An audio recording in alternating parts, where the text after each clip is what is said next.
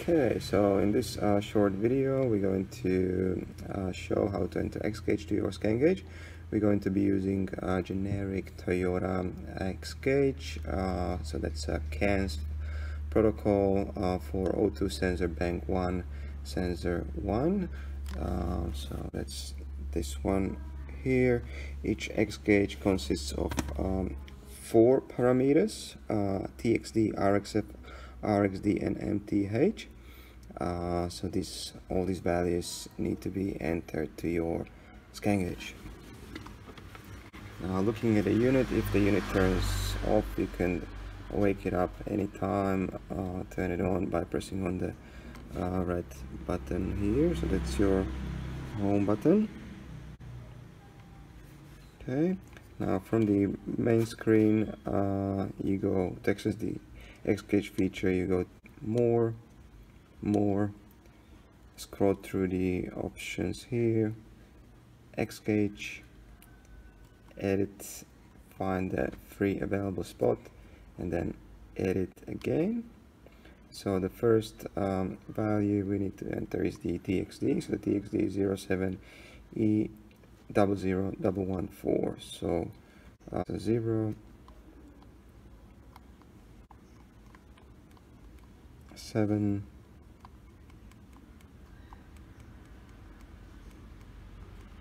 E zero zero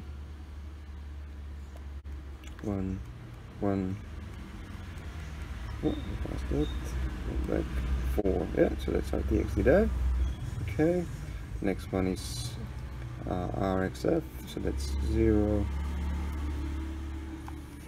four four, one,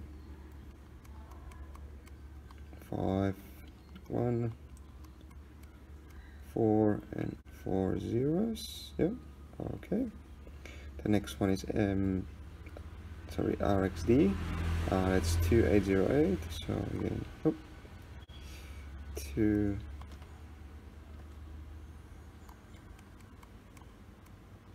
Eight zero eight okay and MTH is zero zero zero. One.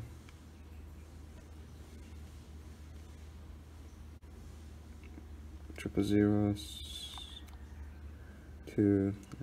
Okay. Give it a name.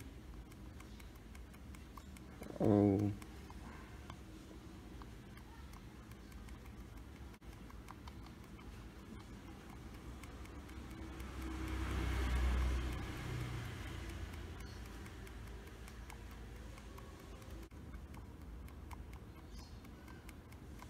one.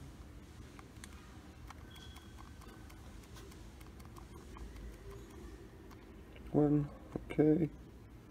So let's just save it. Edit just to review make sure it's correct. Okay okay okay. Okay okay. Save exit go back to the main screen. Yep. Okay, so uh, the X gauge entered. Um, let's find the uh, X gauge within our gauges. So tap on the gauge button. There it is, on one. In case you're not able to find it, you can scroll through. So by tapping on any of the buttons, you can scroll through the available gauges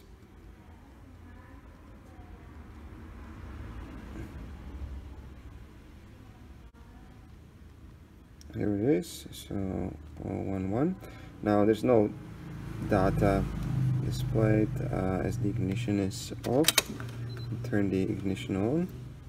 There it is. Uh, so some data is being populated. Now to really get some output from from this particular X gauge we need to get the engine on. There it is that's it so that's our X there.